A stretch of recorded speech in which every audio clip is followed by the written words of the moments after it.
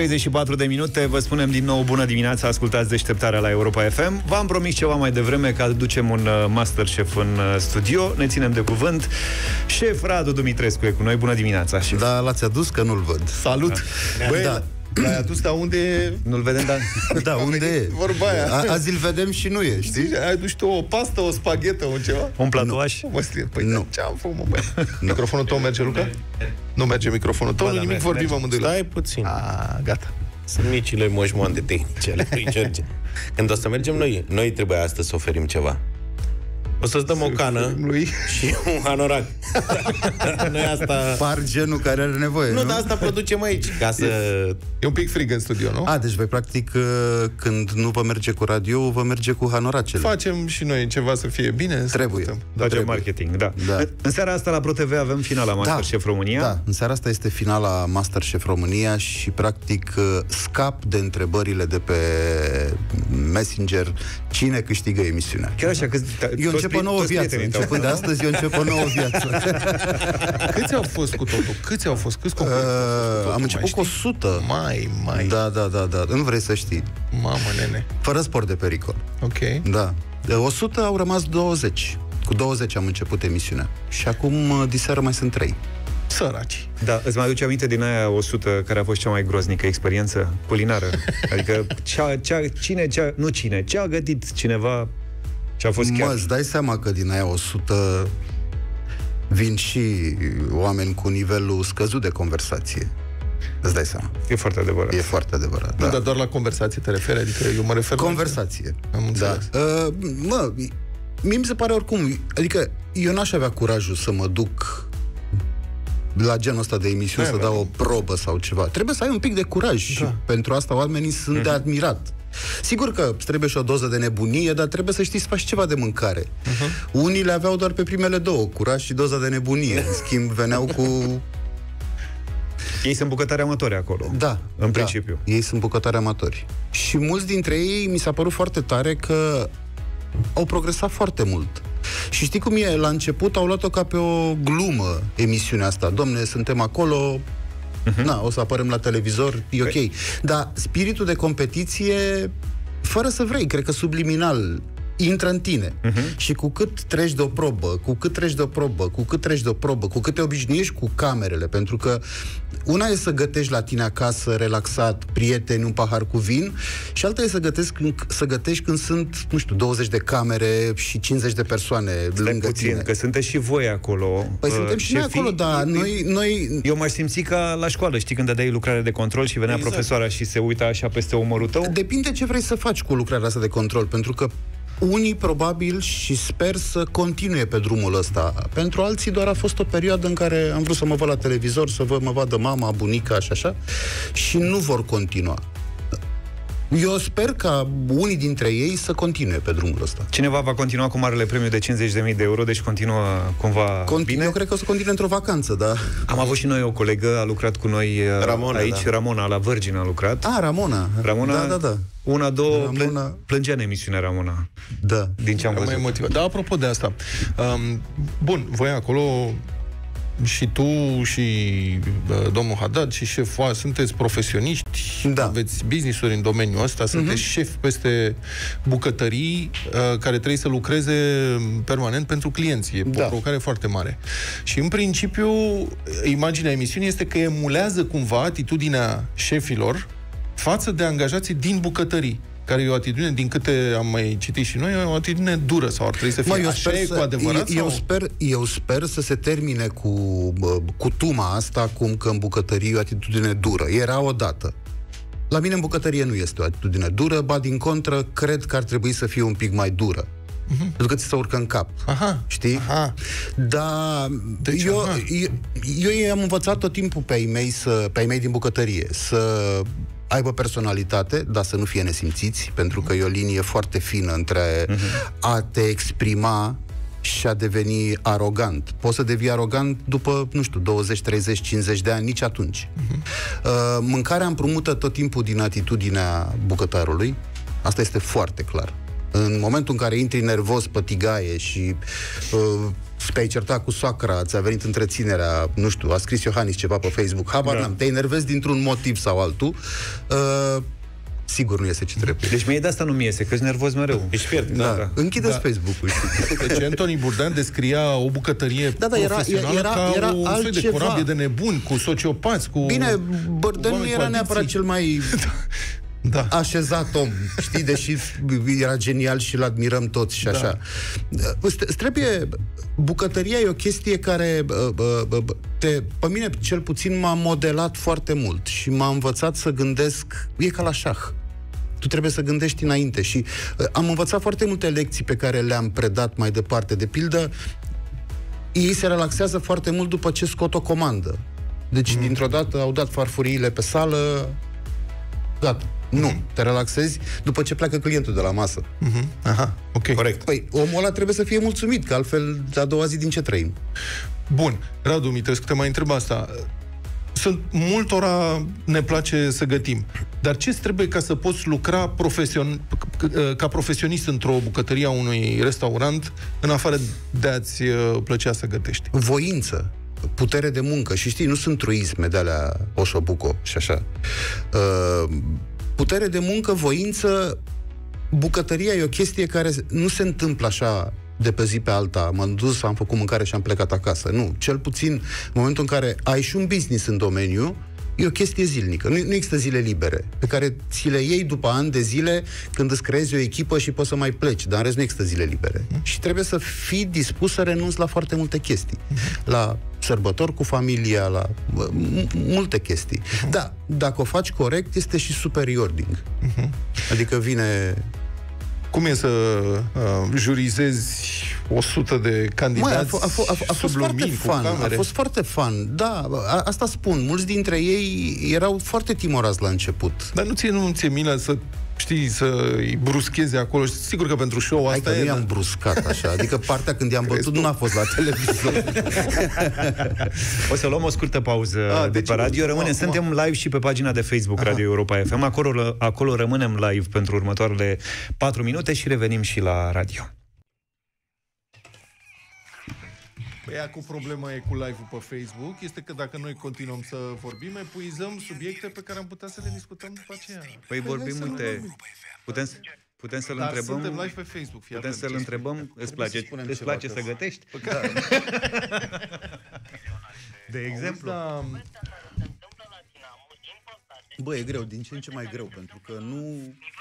Nu ai oameni, frate. Asta și asta voiam să este o întreb. chestie... Nu ai și eu oameni. sunt nenică. amic cu Hădean, care tot a încercat Păi da, și eu mai este vorbesc cu exasperat. Hădean și știu, da. Nu ai oameni, efectiv. Nu mai vrea nimeni în țara asta să muncească. om. Nu mai vrea.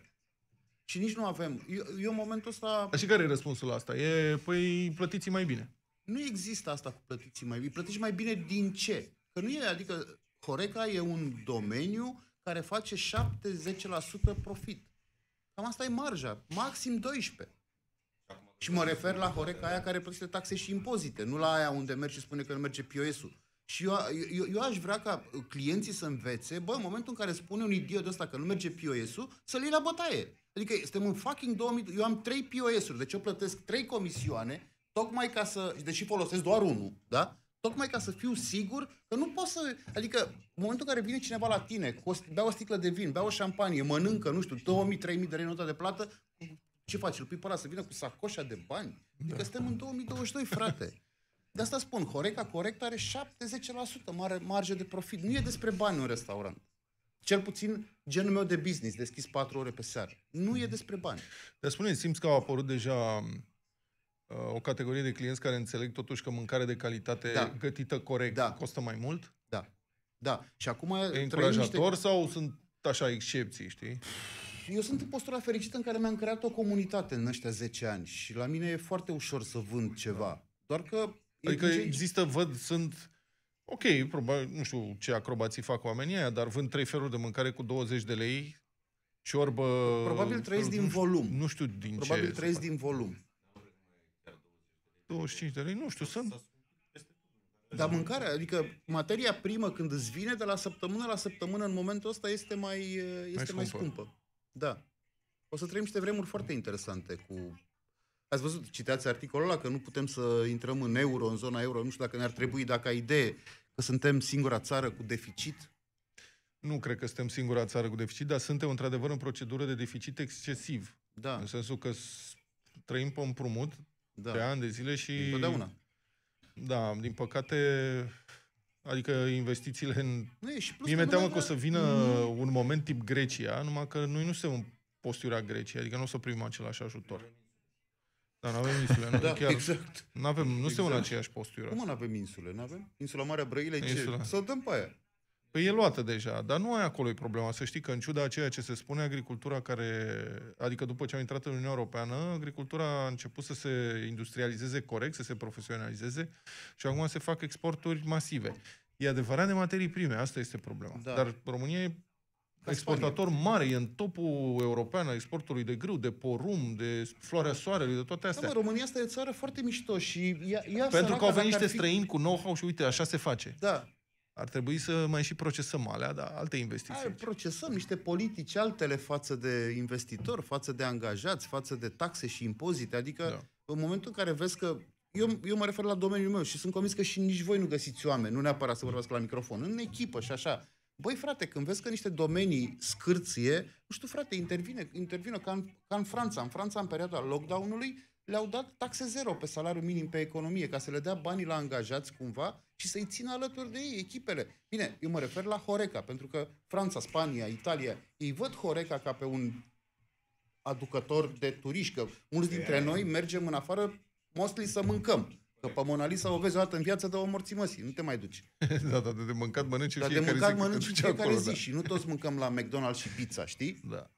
Da. Asta zic. Eu am fost la guvernul catalan cu mulți ani în urmă și ne-au primit aia efectiv în urma unui mail. Deci am dat un mail și ne-au primit.